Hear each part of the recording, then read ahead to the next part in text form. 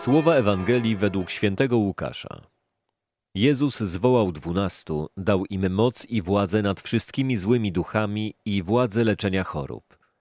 I wysłał ich, aby głosili Królestwo Boże i uzdrawiali chorych.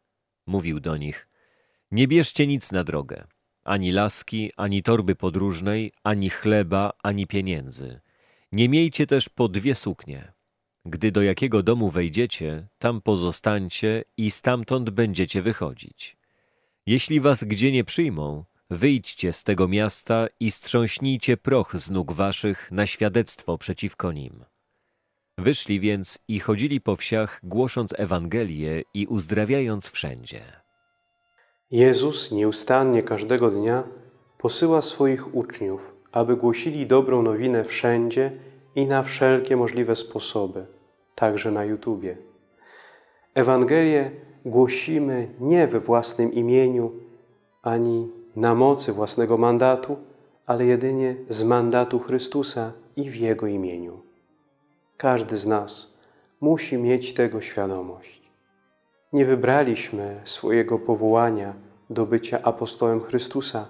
Nie sami z siebie uczyniliśmy się chrześcijanami, ale to Bóg nas wybrał, powołał i wzbogacił odpowiednimi zdolnościami, abyśmy współpracując z Nim dobrze wypełnili misję, którą nam powierzył.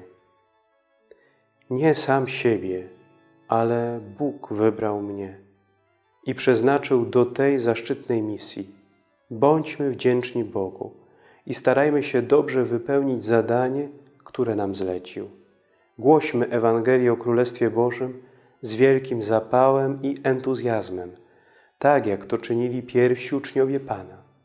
Odrzućmy wszystko, co może ograniczyć naszą mobilność i całkowicie podporządkujmy wszystko misji, do której zaprasza nas Jezus. Głoszeniu dobrej nowiny towarzyszyły znaki nadprzyrodzone, jak uzdrowienie chorych i wyrzucanie złych duchów. My miejmy świadomość, że Ewangelia nie jest sprawą tylko intelektualną, ale dotyka całego człowieka, także jego sfery duchowej, psychicznej i fizycznej. Ewangelia dotyka i przemienia całego człowieka.